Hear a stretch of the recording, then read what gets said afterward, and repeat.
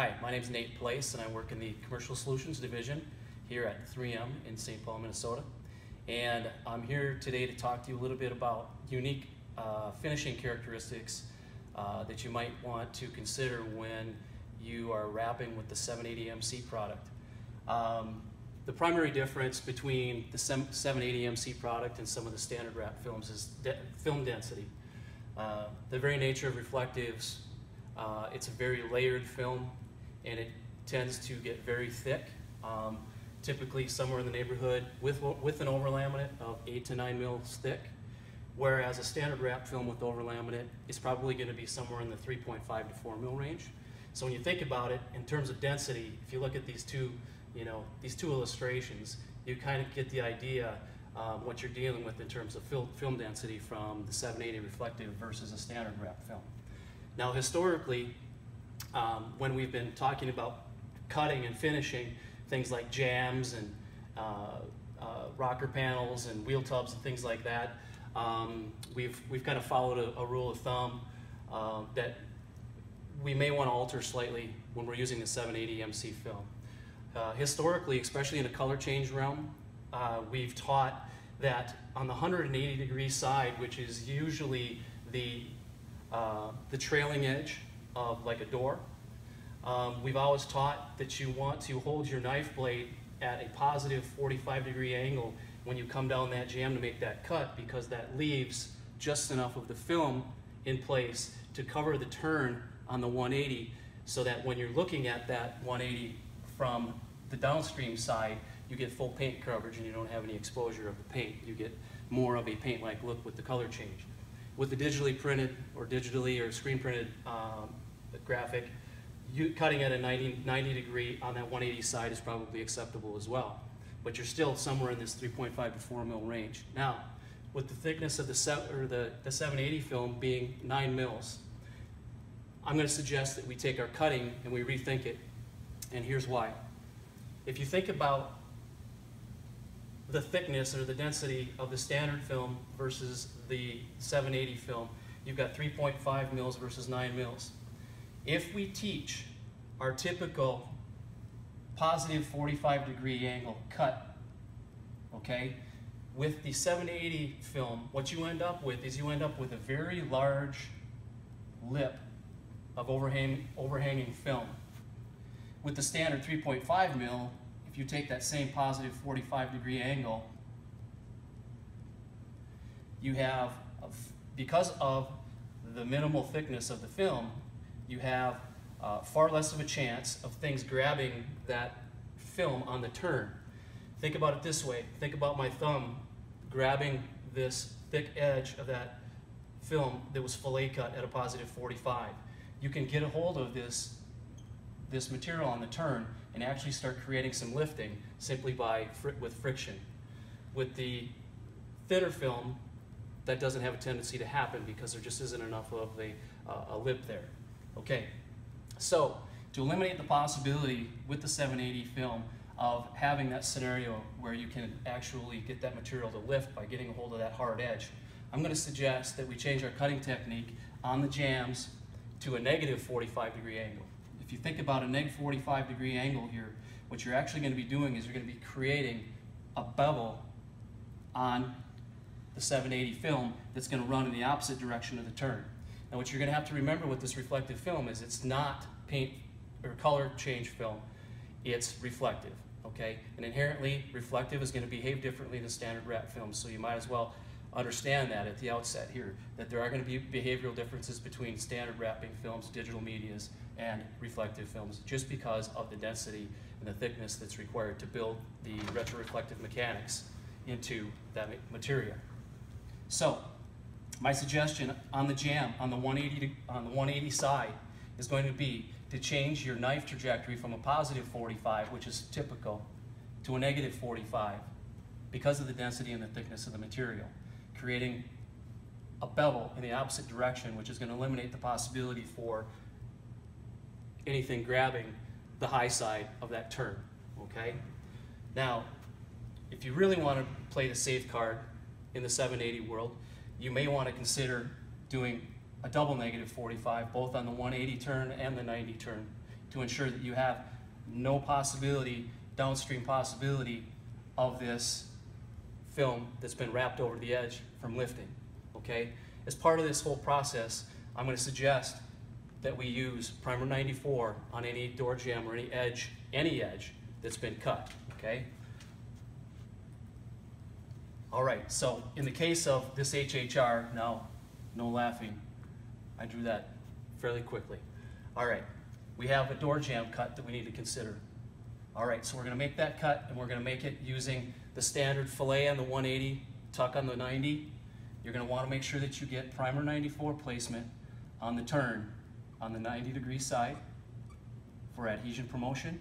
And you should probably also consider applying some primer 94 to the 180 side to help lock down that, yeah, that filleted edge, okay?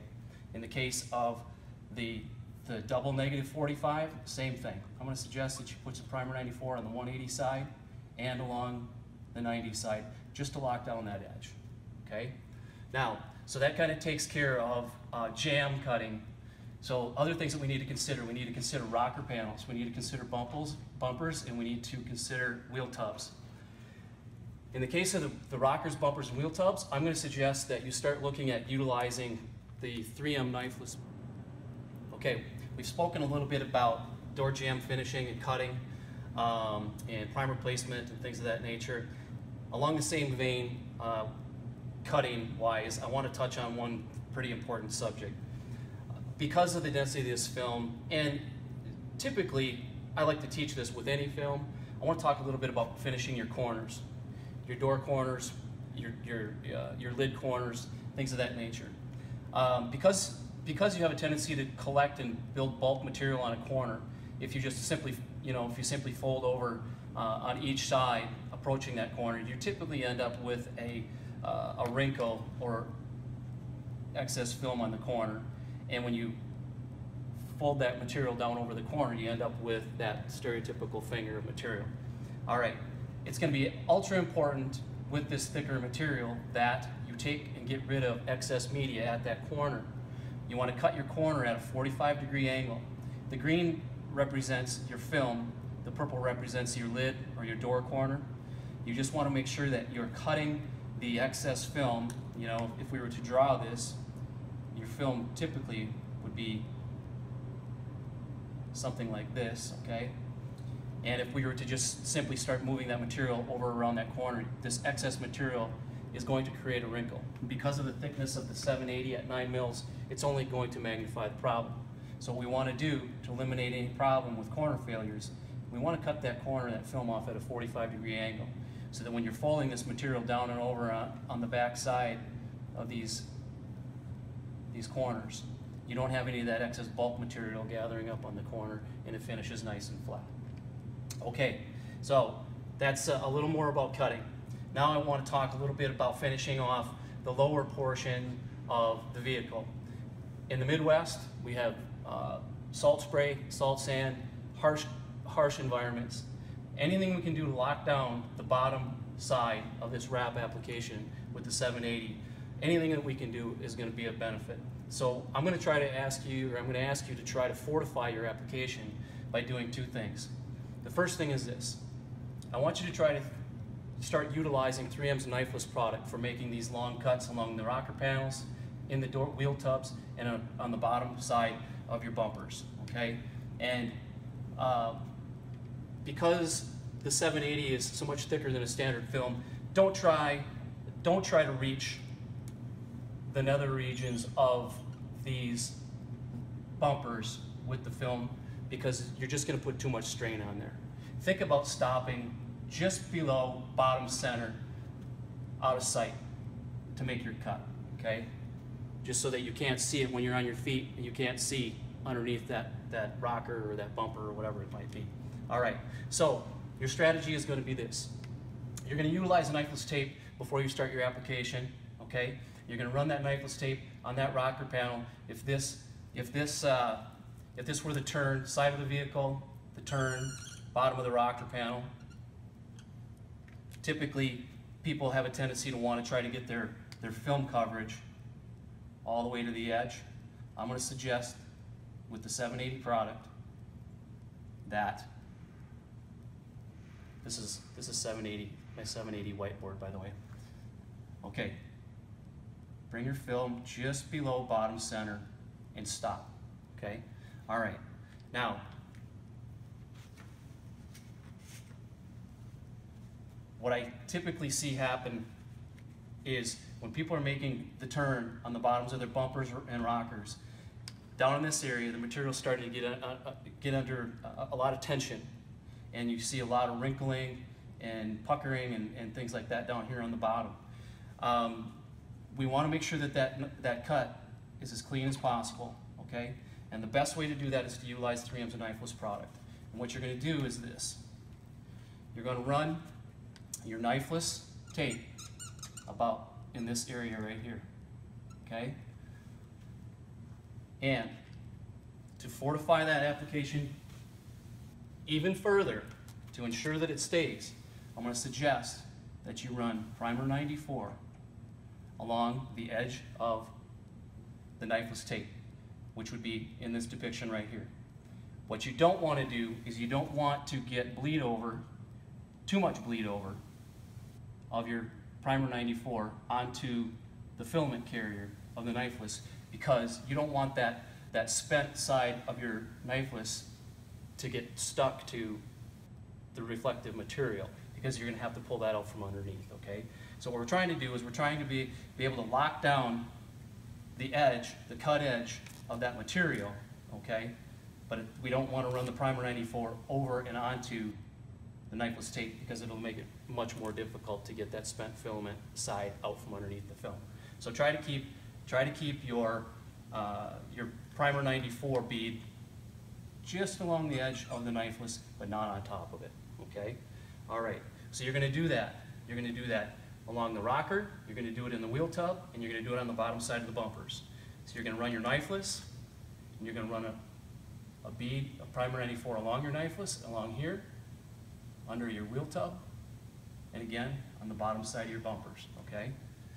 Again, your primer, your primer path is gonna be along, but not, on the knifeless tape. And when you're finished, you're gonna have a nice clean cut, okay? You're not gonna be cutting into the paint, you're not gonna be cutting on the vehicle. The, knifeless tape gives you a nice straight edge to follow with your primer 94 because you know that that's where your finished edge of your graphics is gonna ultimately be. So uh, it's only gonna fortify and help sustain that wrap longer, especially in harsh environments like we have in the Midwest. Um, I guess that's probably all I have right now in terms of, of cutting and finishing. Um, thank you for watching.